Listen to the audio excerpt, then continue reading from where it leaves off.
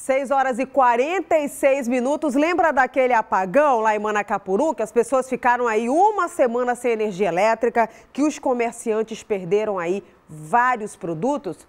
Pois é, lá na, em Manacapuru, na região metropolitana aqui de Manaus, os consumidores têm reclamado bastante dessa situação aí, ainda da falta de energia elétrica. Na verdade, a energia voltou, né? Mas eles reclamam do descaso da concessionária Amazonas Energia depois desse apagão aí que, como eu falei, causou muitos prejuízos. Prejuízos incalculáveis da cidade há cerca de um mês. Um mês já se passou. A instabilidade no fornecimento de energia em Manacapuru continua acompanhada de prejuízos incalculáveis. Se for colocar no bico de lápis mesmo, como eu, é, nós entramos na justiça, chegou uma questão de quase dois mil reais. Isso só prejuízo fora as questões profissionais que eu tenho outros trabalhos ainda também por fora. Somando tudo isso dá quase cinco mil reais, isso só eu. Quem ficou no prejuízo está tomando as devidas providências. A primeira promotoria de justiça de Manacapuru instaurou inquéritos para apurar os problemas causados pelo apagão. Inicialmente instauramos um inquérito para apurar o apagão, realmente as razões do apagão é, depois instauramos procedimentos para apurar a qualidade do serviço que ficou após né, a, o remanejamento de grupos geradores para a cidade. Também é, abrimos investigação para apurar a questão do serviço de água, que, se, que também teve uma, uma interrupção por conta do apagão.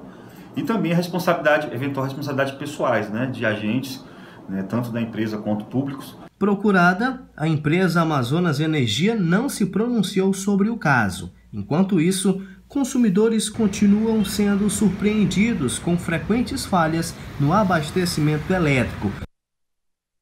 Olha, gente, que absurdo, né? É, a gente já sabia que ia acontecer isso, né? Infelizmente, o pessoal da OAB veio aqui, inclusive ao vivo no 6 Horas Notícias, para falar sobre essa situação da indenização dessas pessoas principalmente dos comerciantes. Tanto a OAB quanto a Defensoria estiveram aqui uh, no 6 Horas Notícias, né, em entrevista ao vivo, para falar dessa situação. Muitos comerciantes perderam tudo, né? E a Amazonas Energia deve ressarcir aí essas pessoas, com certeza, na justiça. E olha, mais uma vez, cansados de sofrer com a falta de energia elétrica e também terem prejuízos por conta desse problema, os agricultores na zona rural aqui de Manaus, é, que moram ao longo da BR-74, eles voltaram a fechar a pista. A gente mostrou ontem aí um protesto e eles voltaram a fechar a pista protestando quanto essa, por esse problema aí da falta de energia elétrica. A matéria é do Jackson Salvaterra. Bota na tela.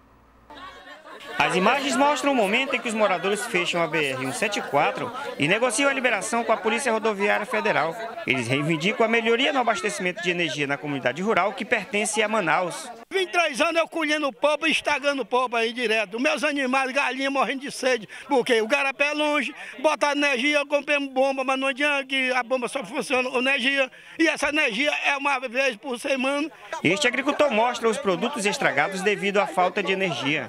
250 quilos de polpa de uma semana e por causa dessa energia, com 10 dias sem energia. E a única solução é a gente fechar a, a, a BR. Senão não tem providência de nada. Esta é a segunda vez que os moradores fecham a BR-174 em menos de 72 horas. Desta vez foi aqui no quilômetro 67, na entrada da comunidade Rio Branquinho. O ramal tem aproximadamente 80 quilômetros. Segundo os moradores, eles estão há mais de 10 dias sem energia elétrica. A preocupação de luz é com o filho. Ela depende da energia para ligar o equipamento que ajuda na qualidade de vida do garoto. Que o meu filho ele sofre de asma, então ele tem que fazer inalação e não tem energia. A manifestação durou aproximadamente três horas e prejudicou o tráfego de veículos na rodovia.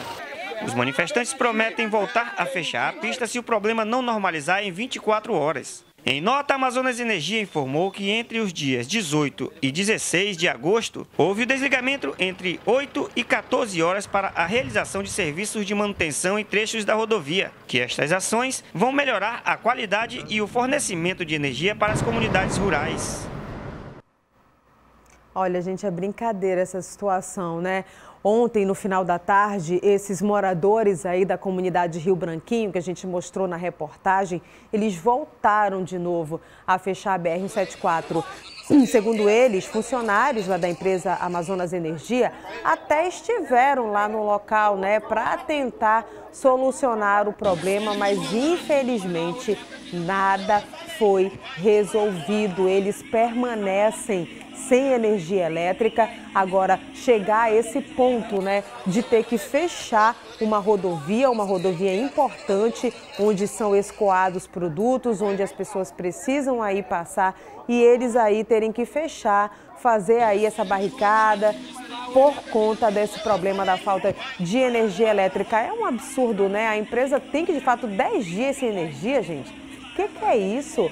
Como é que a pessoa é, coloca aí é, os seus produtos, os seus produtos alimentícios é, para conservar sem energia elétrica. Os, o comerciante reclamando aí na matéria que a polpa de fruta dele, coitado, compra com tanto suor para revender, né? E aí estraga porque não tem energia elétrica. O, que, o mais grave de toda essa situação foi o problema de saúde, aquela senhora falando que o filho sofre de asma e que precisa da energia elétrica, é questão de sobrevivência. Né? Então a Amazonas Energia ficou alerta aí para a empresa, de fato, tomar uma providência é, nessa questão aí, nessa comunidade, né? E a gente tem outras reclamações, viu, gente? Não para por aí não. Jackson Salvaterra foi lá conversar com os moradores ontem, no final da tarde, ali, início da noite, para ouvi-los, porque a situação está bem complicada aí nesse ramal. Bota para mim aí, produção. A comida estragando, pito morrendo, todas as coisas morrendo, cara. Por causa, de, por causa da energia, pô. Precisa também, esse, esse negócio aqui, ó, isso aqui tá tudo bichado, cara. Quando a gente precisa, precisa aqui, mesmo, não tem, não espera um cada dia. Tá aí, ó, o senhor reclamando aí também sem energia elétrica, né? Que absurdo isso, né? A gente deixa o alerta, deixa o alerta aí para a Amazonas Energia para socorrer essas pessoas aí. A gente tem mais pessoas reclamando, é isso, produção? Tem mais gente aí? O Jackson com, conseguiu conversar com mais gente? Vamos ver. A gente precisa de energia, né? Porque completamente não é só a escola que precisa de energia, os moradores precisam por causa da água, que não tem água gelada e as merendas da escola estão tudo estragadas. A merenda da escola estragando? Você já pensou uma situação dessa? Aí, nesse caso, o prefeito do município tem que intervir, porque aí já fica uma situação de calamidade, uma situação de emergência na cidade. A mãe dizendo que precisa de energia porque o filho sofre de asma. Isso aí é questão de vida, de vida ou morte, porque não tem energia elétrica. Os comerciantes perdendo aí suas polpas de frutas, seus, seus produtos perecíveis lá nessa comunidade, aí na zona rural de Manaus, porque não tem energia. Aí a criança não tem merenda escolar e olha, gente, muitas crianças, isso é uma situação que vem acontecendo não só aqui no Amazonas, mas em, em muitas cidades do Brasil, comem o que tem na escola. E aí a merenda está estragando, a merenda comprada com dinheiro público, que deveria estar tá sendo conservada e está estragando por causa da falta de energia elétrica, não dá. O prefeito tem que intervir, o prefeito tem que intervir aí junto à Amazonas Energia, as autoridades têm que tomar uma providência junto à empresa para que se restabeleça o fornecimento de energia elétrica aí nessa comunidade rural aí, né? Presidente Figueiredo aí já, né? Moradores aí da Rio Branquinho. Então a gente ficou alerta aí para Amazonas Energia, comunidade Rio Branquinho, lá em Presidente Figueiredo, precisa de energia elétrica há mais de 10 dias. Como é que a pessoa sobrevive, meu povo, sem energia elétrica? Não dá. Fica o alerta, né? Ontem você viu aí. É, é, a, gente, a gente já mostrou aí várias vezes, vários casos aí dessa falta de energia. A gente voltou a falar de Manacapuru e agora o problema é lá na BR-74 em Presidente Figueiredo. Agora a gente vai mudar de assunto, viu? Um policial militar ficou ferido depois de uma confusão em um abrigo de venezuelanos lá no Coroado, né? Você viu, a Bárbara Mitoso entrou ao vivo com a gente, mostrando aí, falando sobre essa história dessa confusão nesse abrigo lá na zona leste de Manaus. Nessa confusão, um refugiado acabou atingido com um disparo depois de agredir um dos vigilantes do local. Vamos ver o que aconteceu. Nas imagens é possível ver o momento em que os policiais prendem o venezuelano. A polícia foi acionada para conter uma desordem em frente à Feira do Coroado, na Zona Leste. Quando chegaram ao abrigo, onde moram mais de 200 venezuelanos, dois homens agrediram um policial que teve a cabeça ferida. Um deles foi detido logo lá mesmo, em frente ao abrigo. O segundo, é, é, venezuelano que estava provocando a desordem, ele se apossou do seu filho, de uma criança, lá que a gente ainda não sabe precisar se era o filho dele, e entrou num, num veículo e se dirigiu ao João Lúcio, ao Joãozinho, né, dizendo que a criança estava passando mal e precisava de atendimento.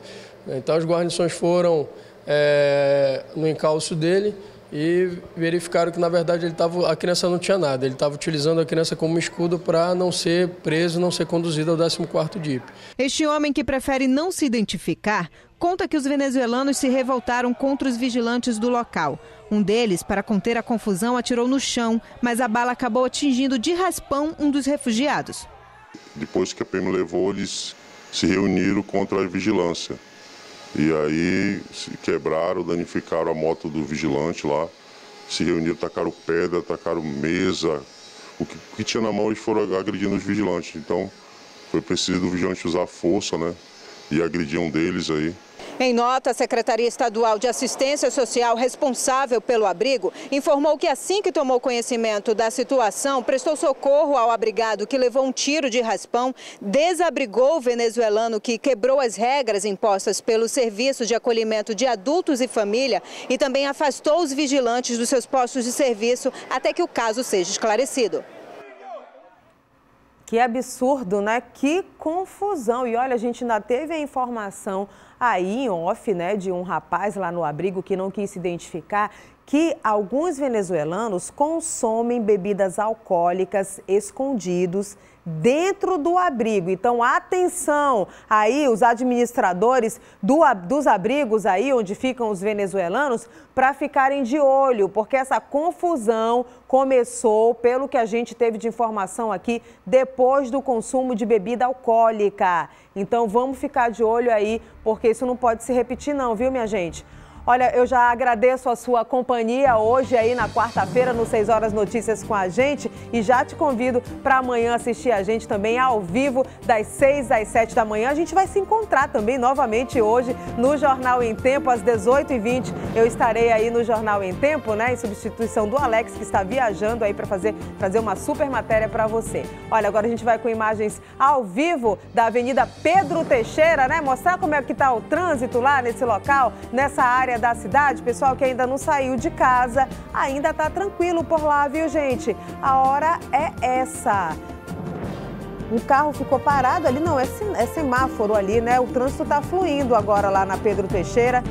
Aí, gente, obrigada pela companhia mais uma vez. Um ótimo dia a todos. Que Deus nos abençoe e até amanhã.